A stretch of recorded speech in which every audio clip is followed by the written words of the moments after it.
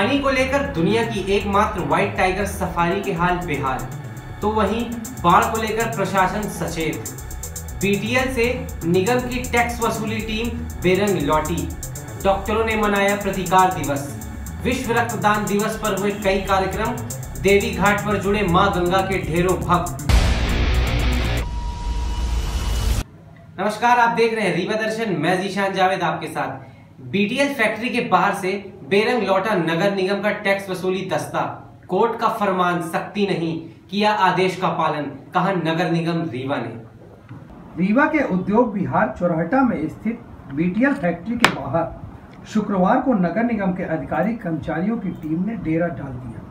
संपत्ति कर वसूली को लेकर वर्ष 2003 से कंपनी और नगर निगम के अधिकारियों के विवाद चल रहा था। 16 साल हो गए, मामला कोर्ट में पहुँचा। कोर्ट ने यह कहते हुए संपत्ति कर वसूली पर रोक लगा दी थी कि वसूली के लिए किसी भी तरह की सख्ती का प्रयोग ना किया जाए। इसके बाद से निगम प्रशासन भी टैक्स वसूली के प्रति उदासीन बना रहा। जब दोबारा तैयारी की गई टैक्स वसूली की तो एक बार फिर से वहाँ पर कंपनियाँ अपना रुआब काटने में पीछे नहीं आ रही हैं। हम आपको बता दें, उद्योग विभाग में चौरासी कंपनियों के प्लांट हैं, जिनमें करीब 30 करोड़ रुपए से अधिक का टैक्स निगम का बकाया है। निगम अधिकारियों ने दावा किया है, बीटीएल ग्रुप के दो प्लांटों से संपत्ति कर यदि जमा किया जाए तो 10 करोड़ रुपए से अधिक की राशि जमा होगी।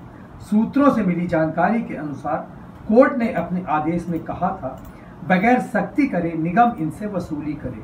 लेकिन देश के सबसे बड़े औद्योगिक घराने की फैक्ट्री दुनिया की एक ब्रांच, जिसे रीवा में बीटीएल के नाम से जाना जाता है, नगर निगम का करोड़ों रुपए दबाए बैठी।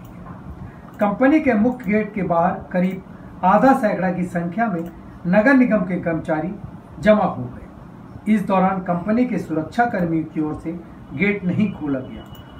वहाँ के कर्मचारियों को भी भीतर नहीं घुसने दिया गया। इसके बाद पीछे के गेट से कंपनी के कर्मचारी और बुला लिए गए। गेट पर काफ़ी तनाव की स्थिति बन गई। बाद में नगर निगम के अधिकारी, जब उनको फैक्ट्री के अंदर प्रवेश नहीं करने दिया गया तो वो वापस लौट गए। उनका कहना था, कोर्ट के निर्देश के अनुसार वह कोई बल प्रयोग नहीं करेंगे, लेकिन संपत्ति कर मांगने आते रहेंगे। बीटीएल फैक्ट्री के कर्ता धर्ताओं की दबंगई देखिए नगर निगम के अधिकारी कर्मचारियों को परिसर के अंदर भी प्रवेश नहीं करने दिया गया।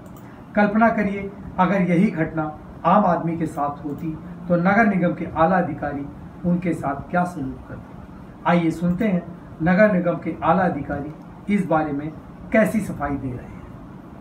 ईटीएल में हम लोग संपत्ति कर और समिति कर वसूली के लिए यहाँ पर आए हुए हैं। हमारा जो संपत्ति कर है 2003 से बकाया है। और लगभग ये करीब 10 करोड़ के आसपास होगा। तो ये लोग बीच में कोर्ट चले गए थे। कोर्ट ने कहा था कि भाई एक कोई दंडात्मक कार्रवाई न करते हुए समझौते के तहत आप जो है संपत्ति कर वसूल कर सकते हैं। उसी कड़ी में हम जो है इसके दस दिन पहले हम लोग आए थे सभी लोग। बात हुई थी इन्होंने कहा कि हमको समय दीजिए। हमने सम, हम लोगों ने समय दिया। ये हमारे अमिश्रा साहब से भी मुलाकात किए हैं। महोदय जी से मुलाकात हुई इनकी। उनसे भी इन्होंने समय मांगा। तो इस तरह पंद्रह दिन के आसपास समय व्यतीत हो गया। लेकिन इस तरफ़ से कोई जवाब न मिलने के कारण और जब जवाब नहीं मिला तो आज हम लोग जो है संपत्ति वसूली के लिए अपने से जो हमारे मैंने नगर निगम कर्मचारी हैं उनको साथ लेके आए हुए हैं। अभी कोई जब से आपको लगभग दो घंटे हो गए प्रबंधन यहाँ से अभी हमारे हमसे मिलने कोई आए थे नाम क्या है? हाँ जो कोई प्रबंधक कुछ कोई जिम्मेदार व्यक्ति बात करने नहीं आया। और जानकारी जो प्राप्त हो रही है, वो कह रहे हैं कि हम हम जमा नहीं कर सकते हैं। जो कोर्ट कहेगा, वही जमा करेंगे। आपने सुना, नगर निगम के जोन प्रभारी एस के। चतुर्वेदी को बीटीएल ने 2003 से संपत्ति कर और समाकेती कर बकाया है। कोर्ट ने कहा है, बल प्रयोग ये बिना हम वसूल कर सकते हैं। इसलिए यहाँ आए थे।